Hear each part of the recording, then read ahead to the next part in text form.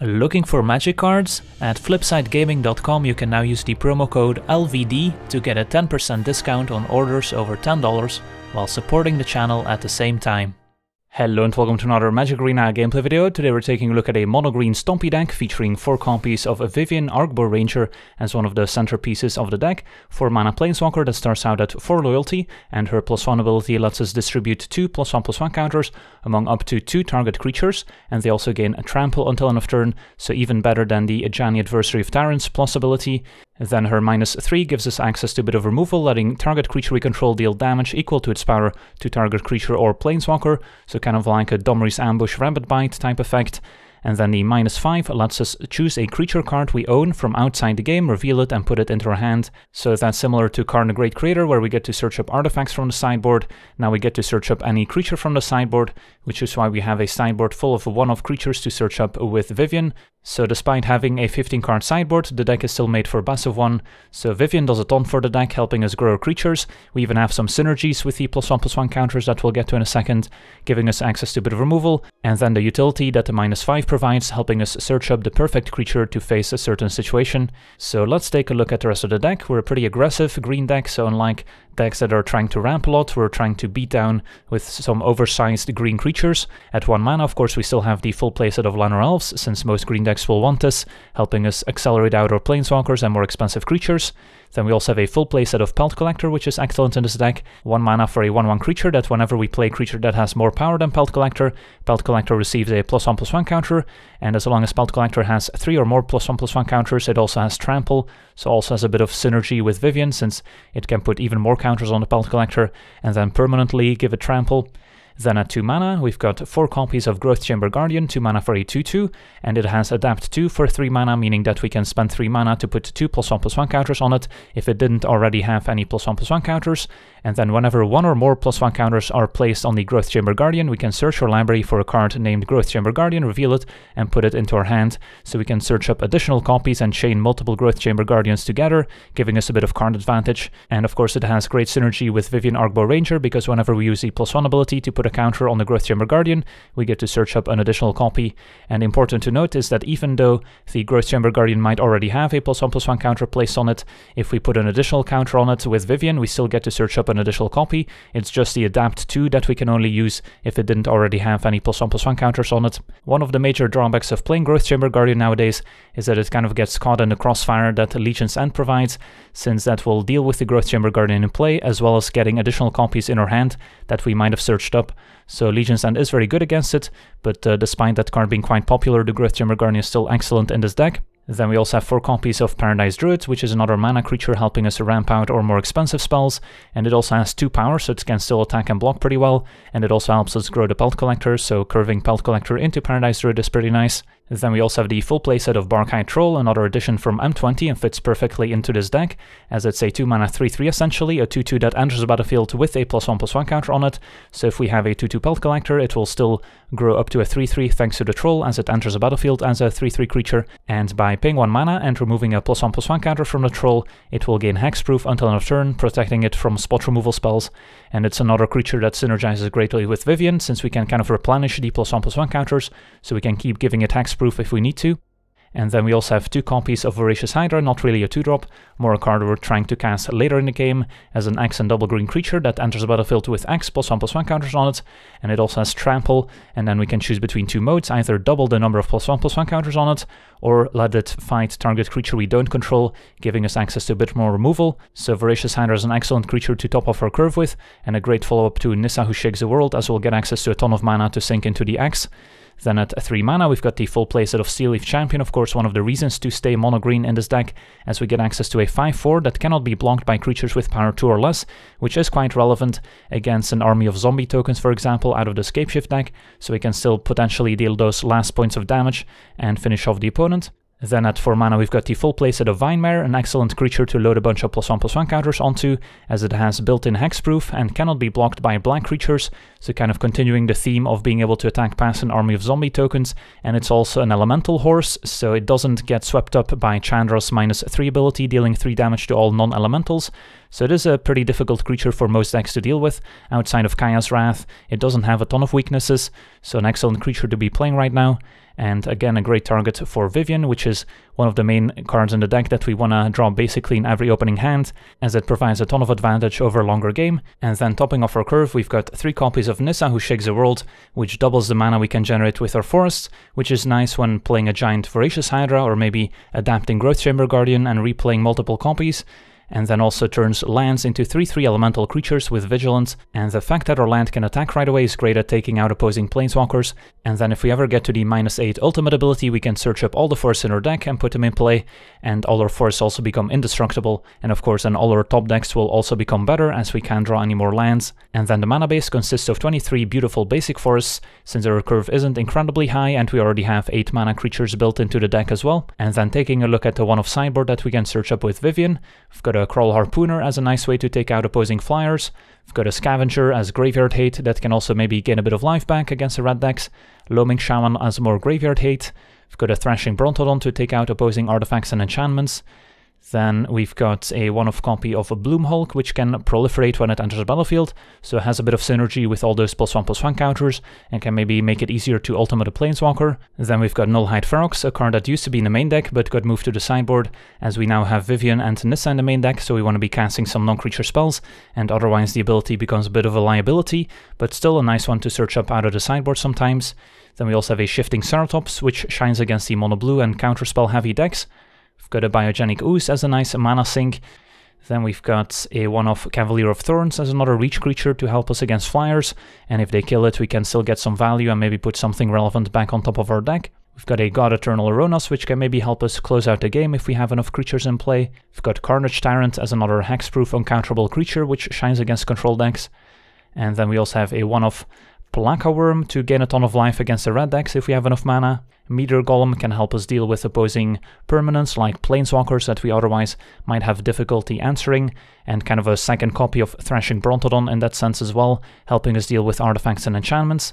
Then we also have Ghalta Primal Hunger, another card that used to be in the main deck, but now we can simply search it up with Vivien if the moment is right, and we can cast it for just 2 mana and get access to a 12-12 Trampler. And then last but not least, we've got another copy of Voracious Hydra, in case we've got access to a ton of mana, maybe in this time play, then Voracious Hydra could be the play. So yeah, that's our deck. Now let's jump into some games and see how the deck does. Alright, we're on the play, and this hand's not amazing. Um, if we draw two more lands, then it's okay, as we get to go Guardian into Steel Leaf into Vinemare. If we don't draw any additional lands, then uh, this hand could struggle. I think I'm actually mulliganing and look for a more explosive draw. Well, this is definitely a better hand. Get the curve Pelt Collector into Growth Chamber Guardian, adapt on 3 and then turn for Vivien. So I think we can keep this and then put Nissa on the bottom.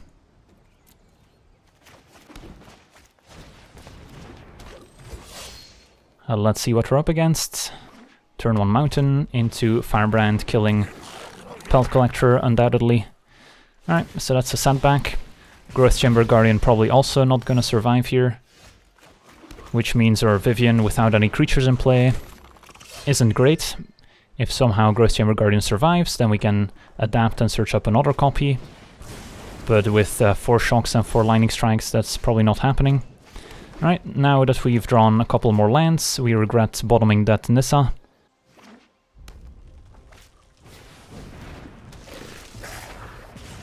Pyromancer puts us to 18. And a light up a stage. The mono red matchup is usually favorable for the green Stompy deck just because our creatures are so much bigger than uh, the ones in the red deck and they often need multiple burn spells to kill one of our creatures. But uh, without any creatures in play we're gonna struggle.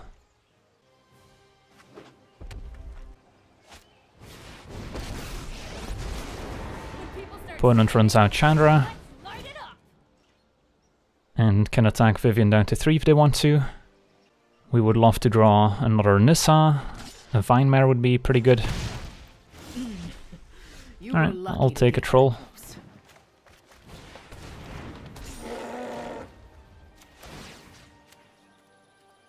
And we can put two counters on it. Get a nice 5-5 with hexproof. So we can maybe start pressuring this uh, Chandra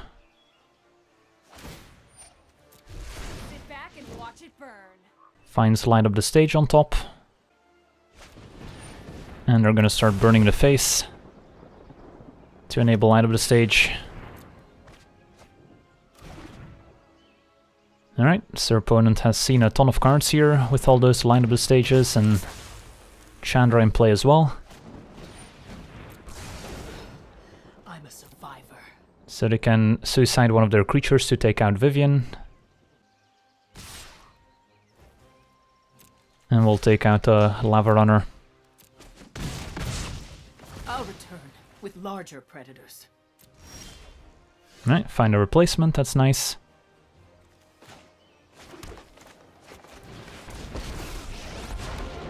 I have survived Nico illness, and I will survive you. So let's see here. To survive. If we kill Chandra, then they get to kill Vivien. So that's not amazing for us. That being said, we do have a 7-7 in play. Could also chill for a turn and then maybe hope to minus 5 Vivien and get something out of the sideboard. If we have one more land, we could get Pelakka Worm, for example. So even though there's a risk we lose Vivien here, I think I'm just gonna stay back and then hope to be able to uh, leverage Vivien some more. And Chandra's not quite ultimating yet, No problem fire can't solve. Find Steamkin. And once we minus 5 Vivien, we can maybe kill Chandra, we'll see. Plays out the Steamkin. A Lava Runner grows Steamkin. So yeah, if they have another Wizard's Lightning, they could kill Vivien instead of a Firebrand. Let's see if they are interested in attacking Vivien. Just shoot it for one. So we can't minus five. Fair enough. Alright, they are still attacking. So let's eat another lava runner. This place is like a zoo. Ooh, Nissa was a good draw. Alright, let's play Nissa. Untap a forests. Give them both a counter and trample.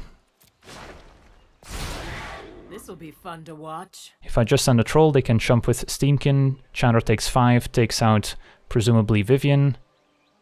And um, then they still get to keep Chandra in play for a turn. I think I'll send both at Chandra. Despite dealing 12 damage, they still only remove 7 counters, so at most they can deal 7 to her face or take out one of her planeswalkers. And then uh, without Chandra in play, it should be a lot easier to manage their board.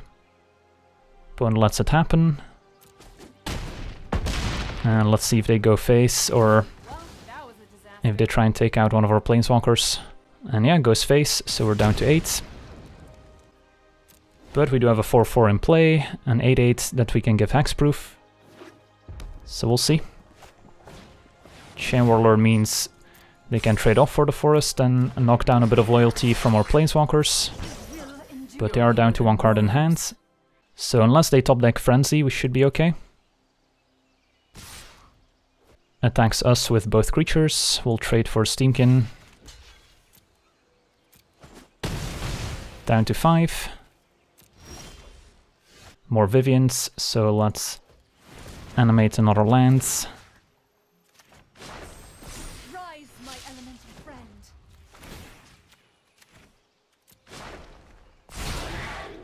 Fit enough to Play a survive. backup Vivien. With the arc bow at my side, I can't lose a fight. And do I kill the Chain Whirler? I think my plan is just to plus, and then next turn I can minus Vivien to get a Pelakka Worm, for example, and then we should be pretty safe.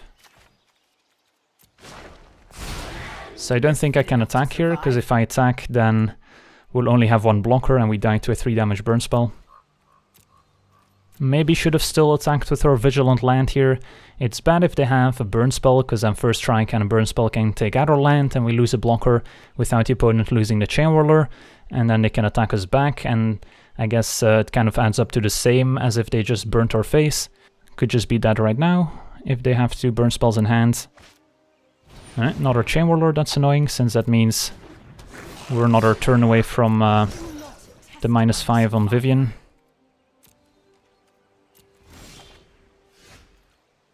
So let's animate another land. Behold, nature's true power.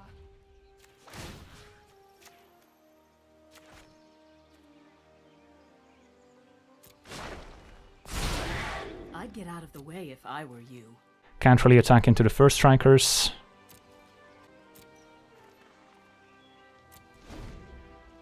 And let's see for dead. There's a frenzy, but this turn shouldn't be too bad. Find Steamkin. Alright.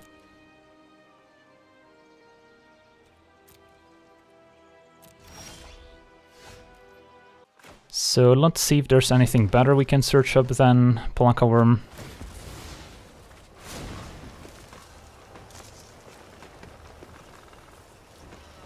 Probably still go with the worm here. Get out of burn range, and then we can start attacking.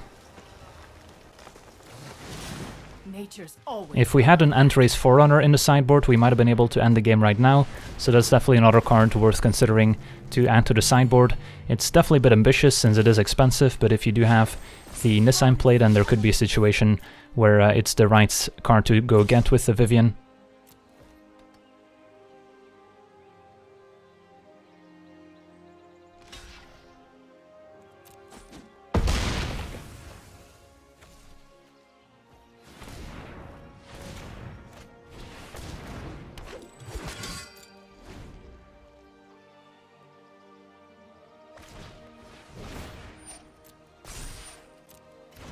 Opponent can of course burn us out from 11, but we've got uh, quite a board presence.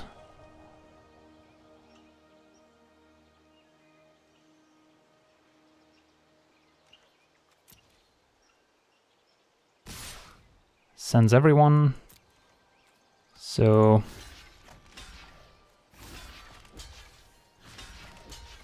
This seems fine. And our opponent scoops it up. Alright, sweet, managed to beat Monored, on to the next one. Alright, we're on the play, and yeah, we've got a pretty decent opener.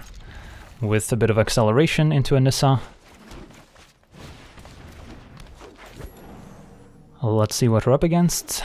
Swamp into Knight of Ebon Could be vampires. So, if I play the troll, I have kind of the protection up, which is nice and can block the knights. How much do we want to ramp out this Nissa? If I play Druid, we can play Nissa next turn, so that could be worth it.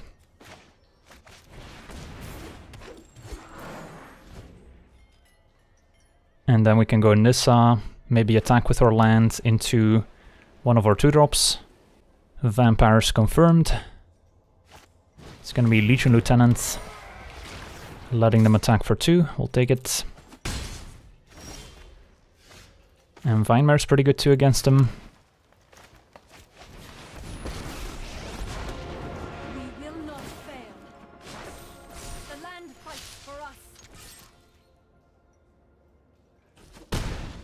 And we'll play the troll. So not a bad turn 3. Opponent does not have Sorin to match our Nissa. Attacks us with Knight of Ebon Legion. Don't think I'm interested in blocking. It would force him to pump, which could be a good thing. But um, we'll hang on to the troll for now. It's gonna be Adanto Vanguard. Alright, so we'll start by attacking with our Vigilant Lands.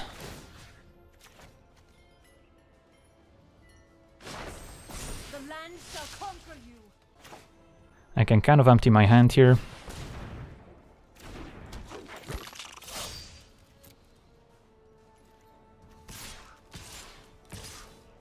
Think the troll can get in there too. Opponent's gonna double block the troll. I'll happily take out lieutenants. Opponent will still be forced to pay the 4 on the vanguard, otherwise it will die as well. Unless they've got a trick. Alright, I think our opponents might have messed up there, or they couldn't afford to pay the 4 life. Either way, we'll uh, play Vinemare. And then end of turn I can adapt the Growth Chamber Guardian.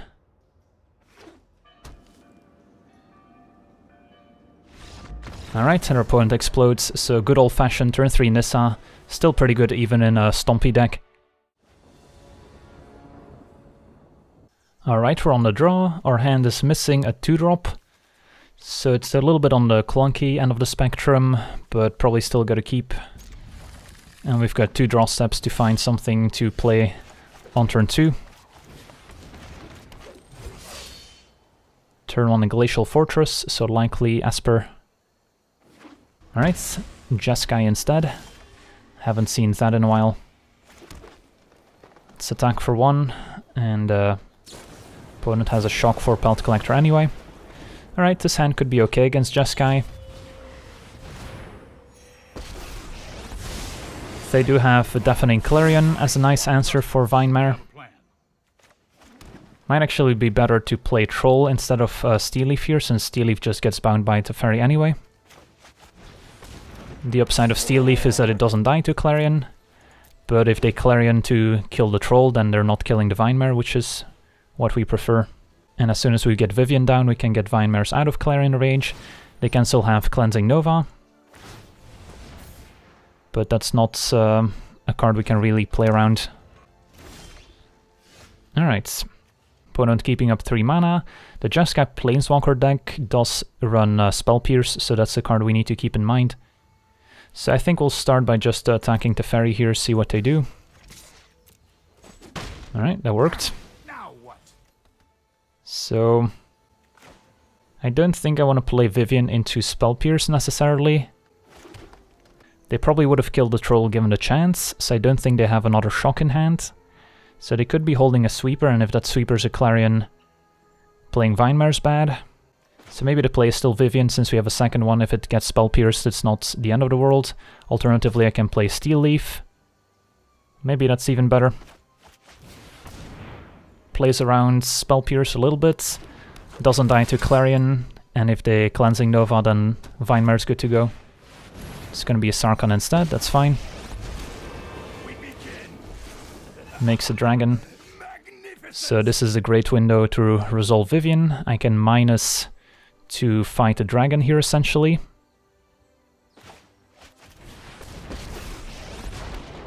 My heart beats in unison with the wild. And deal 5 to them, 2 to Sarkhan. I've got a Vivien in play. So even if they wipe the board, we can still kind of uh, leverage our Planeswalker. And we don't need to commit many more creatures to the board here. We can just start plussing Vivien until they deal with what we have in play.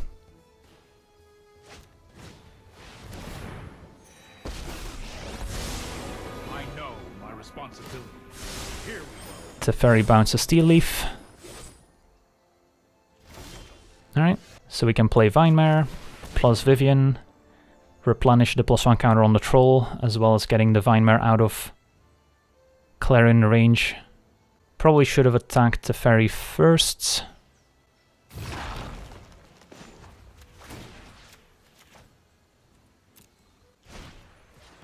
Opponent's just got an Opts. Alright, This'll be fun to watch. Only time will tell. So we're in a pretty good spot. Opponent needs Cleansing Nova. And again, Chandra doesn't deal any damage to Vinemare. And no one is telling me what to do.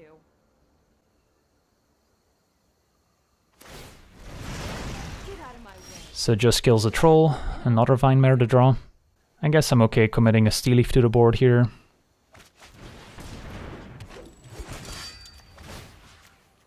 One on each seems fine. This'll be fun to watch. And if we can keep them off having a critical mass of Planeswalkers in play, You're gonna be then the. Jeskai Planeswalker deck isn't too scary, since a lot of their card advantage relies on them being able to activate their Planeswalkers over and over. Sarkhan also requires a few friends to be in play. It's gonna be Saheeli. Doesn't block Steel Leaf very well, even if they make a bunch of servos, and the trample from Vivien also means the servos uh, don't block much. Narset finds backup Narsets. more Vine Mares. I guess I'm okay playing one more. And then basically kill both Planeswalkers here. I think the play is going to be Vine Mare. And then plus on both Vine Mares to get them out of Clarion range. And we don't need Trample on Steelleaf to attack past the servo here. This will be fun to watch. At some point we can start killing the opponents, but for now I'm happy doing this.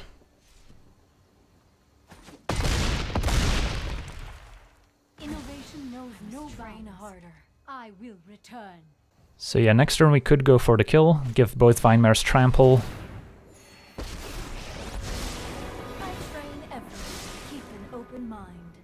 If they go land into Cleansing Nova we'll be sad, but looks like Narset misses and our opponent packs it in. Alright, sweet, able to be Just Jeskai Super Friends, on to the next one.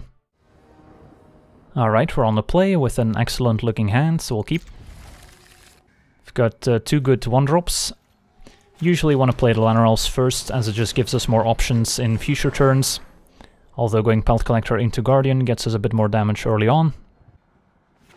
Up against turn 1 Watery Grave, so likely some Esper deck. We'll just go Pelt Collector into Guardian. And then hopefully we can play Vivien next turn, which is going to be pretty sweet. And since we're on the play, we don't need to worry about Crowd of Carnarium here. Alright, Thought Erasure. Likely taking Vivien, although Vinemare is also going to be difficult for them to deal with unless they have a Kaya's Wrath. So hopefully they don't have one of those. If I play Vinemare, then Pelt Collector doesn't die to Cry, but we lose the Guardian. If I adapt the Guardian, we lose a Pelt Collector, and we could potentially get Thought Erasure again. Also, if they have a Legion's End, they get to deal with the Guardian and the one in play. So I think I'm just going to play a Vinemare here.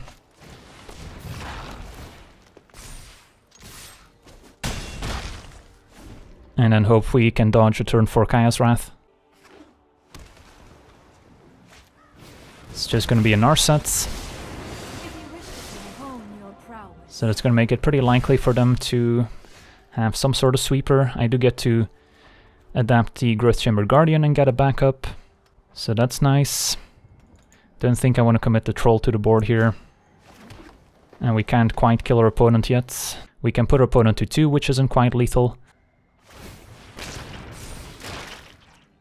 So I think we'll adapt. Get a backup. Assuming our opponent's going to Kaya's Wrath us next turn. And send these at them. Having access to the 7 Planeswalkers in the deck I can see is uh, quite nice against sweeper heavy control decks, but alright, looks like they either didn't have the mana or didn't have the Kaya's Wrath, and we got there, sweet, on to the next one. Alright, we're on the play, and having a turn 1 Llanowar Elves in our opener doesn't hurt. So yeah, we'll keep.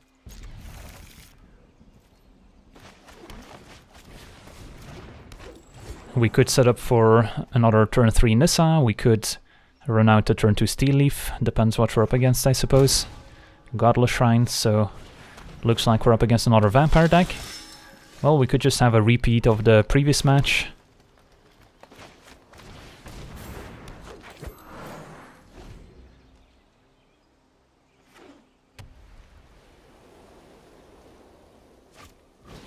Turn to Vanguard. And grow the Knight of Ebon Legion by paying 4 life, and there's a land right on time.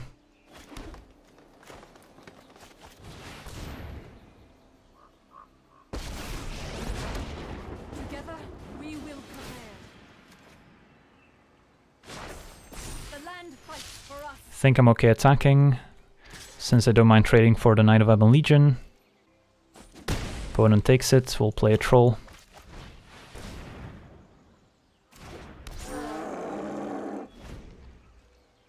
Troll can maybe jump in front of the Adanto Vanguard. Do they have the turn 3 Sorin, unlike our previous Vampire opponents? Still no. Thanks Nissa with both. think we do this, and if they want to save the Vanguard, they're down to a pretty low life total here. Nissa down to 4, and the Legion's landing into Aspirant, into another 1-drop, presumably. Second Aspirant. Alright, that's a lot of creatures. We'll just uh, play Guardian.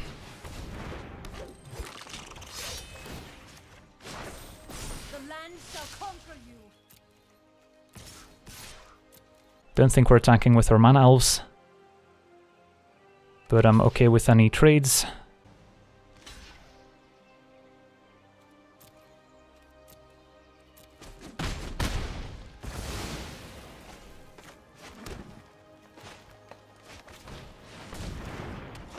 And if I were to adapt the Guardian, I could also play another copy. I guess that's reasonable.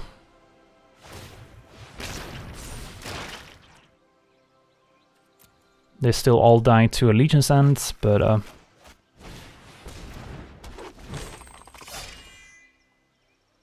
set up that lethal attack for next turn potentially. Alright, there's. This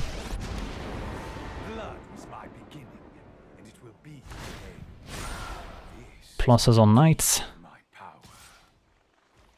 So if we let that go, our opponent goes up to 10, they have one blocker. I think we can let that happen, and then we should still have lethal here.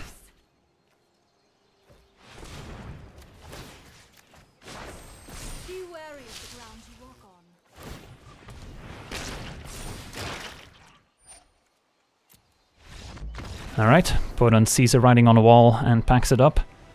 So managed to beat two Vampires opponents, although we did have kind of the nut draw both times with uh, turn 3 Nissa.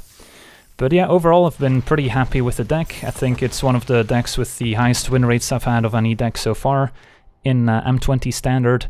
So yeah, if you're looking for something that has a good chance against basically the entire field, Mono Green Stompy is not a bad one. And uh, we do lose a few cards with rotation. Llanowar Elves, of course, the big one, Steel Leaf Champion at 3, but uh, a lot of new cards as well that will survive rotation. So yeah, that's going to be it for me today. Want to thank you for watching, hope you enjoyed, and as always, have a nice day. I also want to thank all my patrons for being part of the channel, and you can become a patron yourself today and decide the topic of future videos over at patreon.com forward slash legenvd.